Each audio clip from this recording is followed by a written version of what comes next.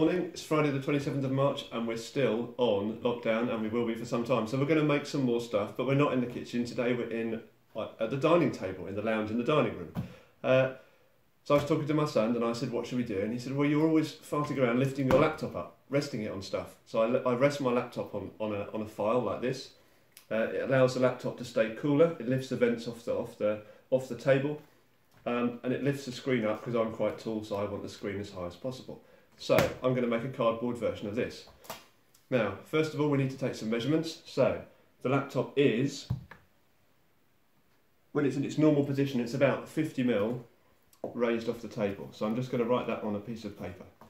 Now we shall turn the laptop over and we'll come back to that later. Just move that out of the way so you can't see it. Now, the stand is going to look a bit like this. So we're going to have two legs, a back section,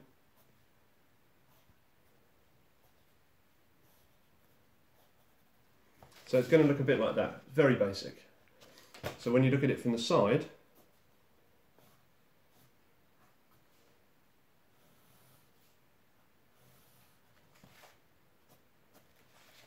as you look at it from the side, this will hold up the back of the laptop. This is the main body of the laptop, this is the screen going up here, and it'll look like this. I do not need to extend it all the way across there. We can make it shorter. So, we'll make this first and we'll see how that goes. So, it needs to be longer than my ruler. So I wanted to rest on the rubber feet of this laptop. This laptop has the same sort of rubber feet, so as long as it's the same sort of width, it should work fine. These rubber feet needs to be inside, so it needs to be about 290 millimeters. The black laptop, it needs to be a little bit more. So, we'll make it for this one, as this is the one I'm using for my video editing and then we'll see what we can do to convert it to suit the other one. So, needs to be 300, 310 mil. So, we'll put that out of the way now, and we'll come back to that later. So I've got my old Amazon box, uh, so I need a length across the back and two sections that fold down. Uh, it's corrugated cardboard, you can see it bends in certain places much better than others.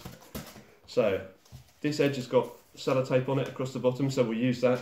That'll help us reinforce the edge anyway. So if we're going to come... So this is designing as we go. Normally I design at the start, but we'll design as we go, and we'll come back to that later.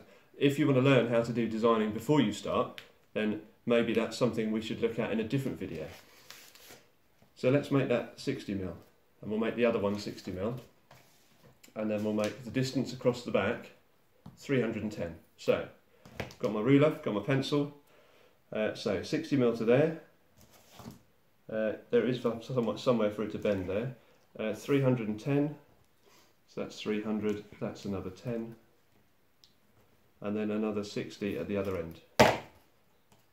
60. Uh, I've got my trusty old drawing T, so I'm going to try and draw some lines. I'm assuming the bottom of the box is pretty much straight. So we'll use that as a guide. I've got one there, one the other way round.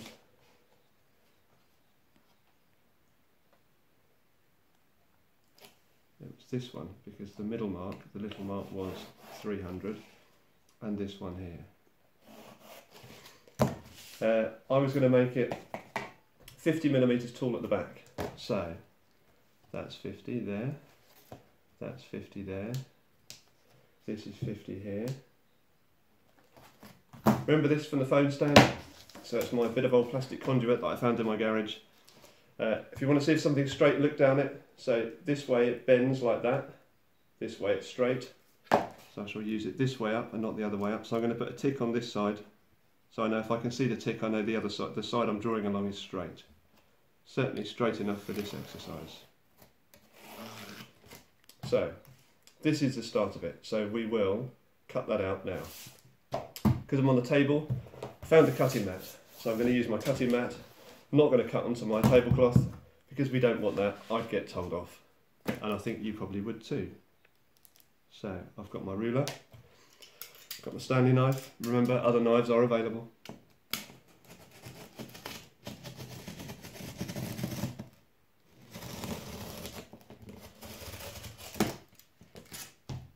Careful, don't go off the end. So now we're going to cut this bit.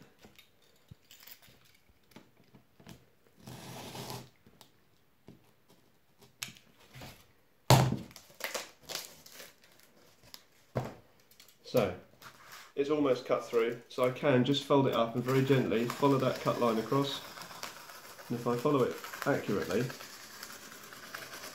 it just separates the back layer from the front. So I've got this bit. Now, we know when we folded the cardboard on this the other day, uh, if you fold it, if you cut the back and fold it, this side wants to spring back. If you cut the front and fold it, it folds it around quite nicely, but it's maybe not quite as strong. So let's cut, which side are we going to fold? This side's got sellotape on it, so I'll leave the sellotape hole, except the lines are on this side, so I'll have to cut this side. So I'm going to just very gently cut to the top layer on this side, trying to follow the line. Do the same at this end. I'm trying to do this in a hurry, but you should not do it in a hurry.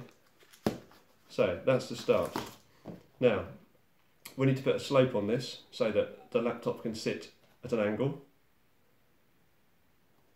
As we're not entirely sure what the slope is because we didn't measure it at the start, let's take it down a centimetre. If it's too much, the laptop still rests on the back and if it's not enough, we can change it later. So there is a centimetre. So I've got a centimetre there and I'm going to put a slope on this side bit that will fold down. So this is the bit that's going to come off. So I'm just scribbling on the waste bit so we know that's the bit we're going to cut off. Same at this end, one centimetre with my ruler. If you don't have a steel ruler like mine, that's fine. A plastic ruler will do. Waste.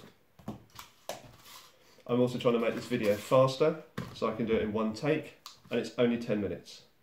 Otherwise, no one's going to watch to the end. Then no one does the work and you won't finish and you won't start. So cut this one off.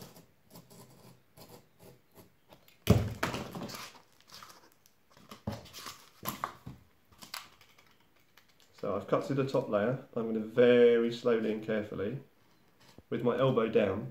If you lift your elbow up, it doesn't cut quite as cleanly. If you hold it down, the knife blade is lower. You can follow your cut on the cutting mat nice and accurately. So that's one bit. Get rid of that. Do the next bit, there's the tick.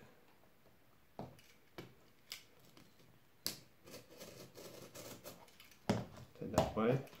Uh, notice I'm cutting, my fingers are behind the blade. The blade's going this way, these hands are behind the blade so that if the blade slips, it's not going to go anywhere near my finger. And even if it slips across the cutting mat, it's still on the mat, it's not on the table. So, how does that look now? So now it does this. Now, what's the biggest problem there? These are not the same length, are they? So somewhere my measurement went wrong. So that was 60. This was 60. But they they are the same length. Okay, so this bends a little bit. So we need to try and stop that bending. We also need to try and make sure these stay in like this. So we're going to make a slot and we're going to put another piece of cardboard across here to hold these together, which will also help to keep the back straight. So a slot is like this. These are my two bits of plywood that I've slotted together using a bandsaw, not something we've got now, now we're on lockdown. Uh, and I would stand my phone in it normally on my desk at work, and it sits on it like that. Or you can turn it over and have it that way, or anything else. Anyway, this is a nice precision slots cut with a machine saw. Doesn't come apart really. Uh, but we don't have a machine saw, so we're going to have to do it by hand. So I need a piece of card that's this long plus another maybe two centimetres either side. So this was, oh look my cutting mat's got measurements on. Uh, this was, this is now 32. So I need a piece of cardboard that's 32 centimetres long plus 2 centimetres either side. So that's 34, 36. So I'm going to use this edge here and it's going to go all the way up to 36. Oh, there's a pencil line there, so I'm going to use that pencil line anyway. And then we're going to make it this tall, which is 4 centimetres. So 4 centimetres tall at both ends. So we're going to extend that line up to four centimetres. This line's already drawn because it was the other end of part of the bit we cut already, four centimetres. Uh, I've marked out the two ends of my 32, 34, 36 centimetre line. I've drawn along the bottom. Uh, I'm now going to cut it out. So let's cut from one end to the other using my almost straight edge. Is it straight? It is straight. There's some sort of illusion going on. When I look down on it, it looks like it's curved. But it's not the curvature of the earth. So, hold that still.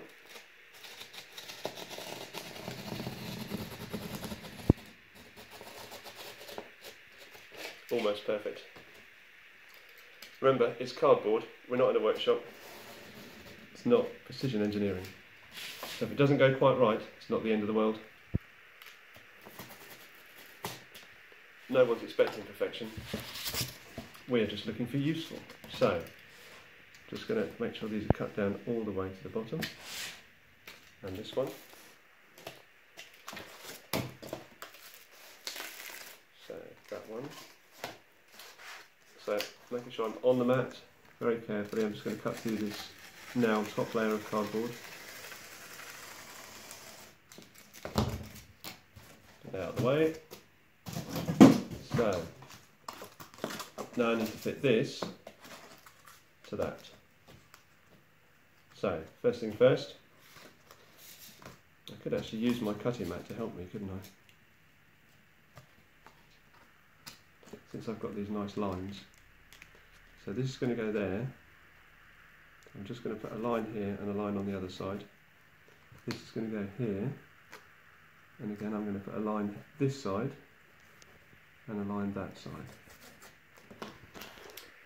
So I'm now going to cut two slots. I'm going to cut them, uh, it's cardboard, so I'm going to cut them narrow and the cardboard will force its way through. Each slot is going to be half the depth. So you get the slot, which is half in one, half in the other, and they go together and they line up perfectly. So, halfway. So although the pencil lines I've marked are quite wide because they were at the bottom of the cardboard where it was splaying out. I'm going to cut it much narrower, so it should be fine. Uh, I should do the same here.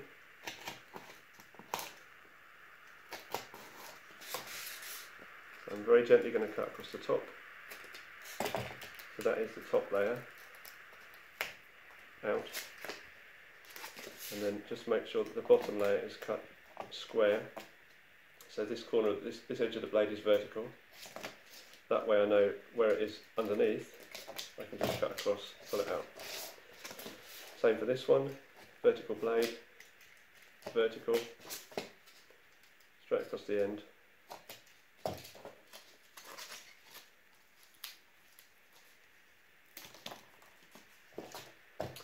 I wouldn't normally work at this sort of speed, but I'm trying to do it quickly so that no one gets too bored. Now this bit of cardboard is made up of one, two, three, four, five, six, six and a bit channels you can see there, but I need to cut somewhere in the middle. So I'm going to cut on this side of the channel, I think. Or maybe I'll just cut in the middle and we'll see.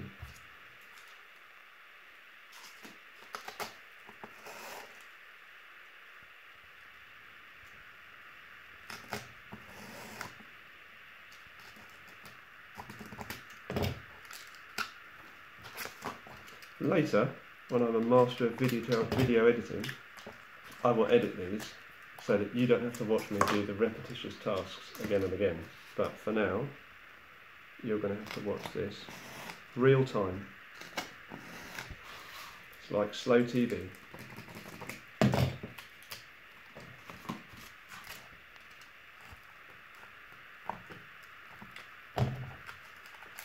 So I've got 30 more seconds of capacity, so I need to be super fast. So let's try and get this together.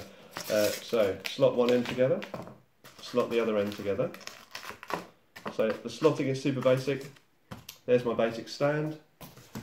Here's my laptop. Boom. Laptop stands up. Laptop is nice and cool. We're ready to go. Show me what you can do. Put your knife blades away. Show me what you can do. Tweet me at Mr. Oxenham.